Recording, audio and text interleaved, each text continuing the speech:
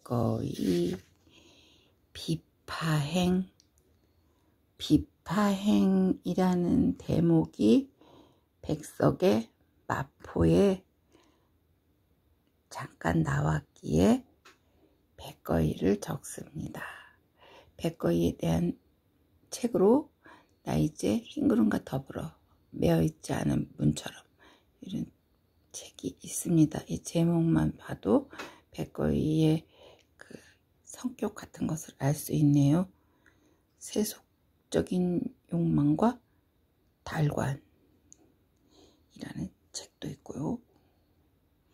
호는 낙천, 낙천은 하늘의 뜻을 따른다. 하늘의 뜻을 따른다는 뜻입니다. 낙천. 아무르 파티하고 니체의 아무르 파티하고 좀 비슷한 것 같으네. 호는 술을 좋아해서 호도 취음 선생이라는 호도 있었습니다. 이태백도 도연명도 좋아했던 술. 그 다음에 향산거사. 나중에 향산에 머물렀던 적이 있어서 향산거사. 772년에 태어나서 846년 75살 사셨고 시를 많이 써서 3800수 그리고 8권이 넘는 시문집이 있습니다. 그 자기의 시집을 절에 보관하라고 왜냐하면 이 세상 부귀연은 나와 연분이 없으나 사후에 나의 문장은 분명히 명성을 얻으리라. 기세가 거칠고 말이 거창하다고 탓하지 마오. 내 이제 막 시집 15권을 엮었노라 하면서 보관을 하라고 했습니다. 허난설은 죽으면서 내 시를 다 버려주세요 했는데 허균, 오빠인 허균이 책으로 묶었다 그러던데 또 이렇게 버려주세요 했던 사람도 많은데 이 사람은 자기 글을 잘 나중에는 알아줄 것이니 잘 보관하라. 이 사람의 유명한 시가로는 장한가와 비파행. 장한가는 당나라 현종과 양귀비의 사랑을 쓴 글. 그 다음에 비파행은 815년에 인생의 전환기를 맞았는데 왜냐하면 임금님한테 간언하는 자리에 있지 않으면서 간언하는 상서를 올렸다고 사람들한테 미움을 받아서 강주사마로 자천을 가게 됐어. 그래서 그때 적은 글 비파행 대목, 대목 중에는 나루터 깊숙이 배대어 놓은 곳 뒤돌아보니 갈대꽃과 물 억새꽃 한 점 등불 외로이 켜져 있다. 요거는 왜 인용했냐 하면은 백석의 그 마포에 나오는 대목하고 어쩐지 좀 분위기가 비슷해서 어둠 속 강둑에 올라 홀로 서 있노라면 설이 기운 머금은 밤 강바람은 몹시도 차다.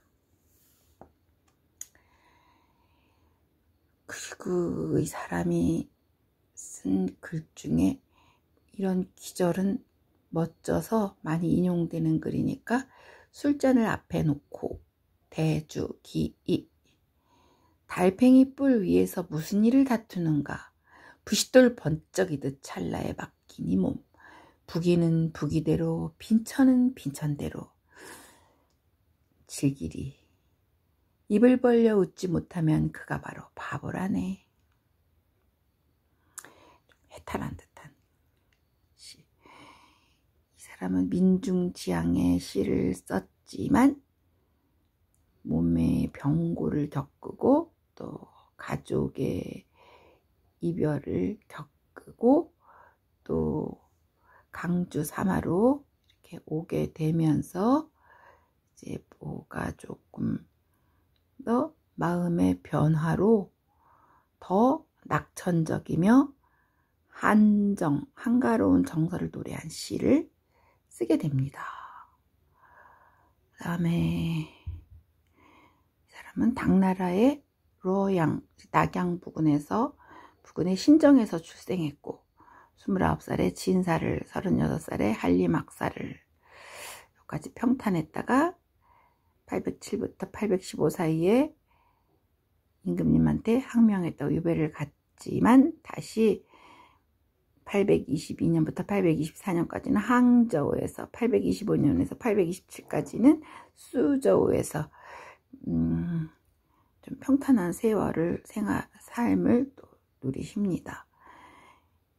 비파행이라는 글의 구조는 그 이야기 형식으로 된 서사 구조를 갖는 시인데 제세 세 이야기로 나눠진다 하면 한 여자 이야기, 자신의 이야기, 그리고 비파행을 이라는 시를 짓게 된 이유 이렇게 나눌 수 있는데 여인에 대한 부분은 가을밤 이별을 많이 하는 심양강 강가에서 비파 타는 소리가 들려.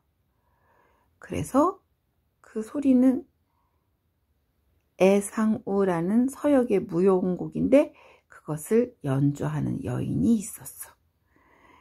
그 여인에게 물었어. 그랬더니 그 여인은 자신의 각응한 삶을 이야기해 주는데 13살에 그 비파를 배워서 예상우 뭐 이런저런 비파를 배워서 교방에서 으뜸 갔었는데 이제 나이 먹고 늙고 보니 장사하는 이의 아내가 되었다. 남편은 장사하는 사람이라서 이익과 실속만 따지고 사람 사귐의 즐거움을 가볍게 여기는 그런 사람이다. 그러면서 그래서 자신도 얘기를 해줬어. 참, 이, 나도 이러저러 했는데 지금은 피토하는 두견새 애절한 원숭이 소리만 들리는 심양으로 귀향을 와서 병들어 누워서 강주 이렇게 있다 하면서 강주 사마인 자신을 위해 비파행을 있다 하는 얘기를 해주고 그 다음에 비파행을 짓게 된 연유는 강주 사마인 자신을 위해서 비파를 타주면 내가 회답의 뜻으로 시를 짓겠노라 하는 세 이야기가 쭉 서사의 구조를 갖고 있습니다. 그래서 비파행을 기니까 다는 못 쓰고 한자도 어차피 모르는 거쓸 필요도 없으니까 앞에 몇 부분만 한글로 적었습니다. 비파행. 비파는 참 중국의 악기 중에서 아주 쳐주는 악기였나 봐. 왕자가 4개나 들어있어. 비파. 심양강도 야송계 풍엽적화 추슬슬 양자강 언저리에서 밤에 길 떠나는 손님을 전송했나니 단풍은 물들고 물 억새꽃은 희게 핀 쓸쓸한 가을날이었다. 주인 하마 객재선 거주요금 무관현 주인이 말해서 내리니 손님은 이미 배 안에 있고 이별이 아쉬워 술잔을 들어 마시려 했으나 흥도들 음악이 없었다. 취불 성환 참장별 별씨망망 강치멀 술에 취해도 즐겁지 않아 쓸쓸하게 이별하려는데 끝없는 장강 수면의 달 그림자 물결이 젖는다. 홍울문 무수상 비파성 주인망기 갯불발 문득 물 위에서 들려오는 비파 소리 들려 주인은 돌아가기를 잊고 나그나는 길 떠나기를 잊었다.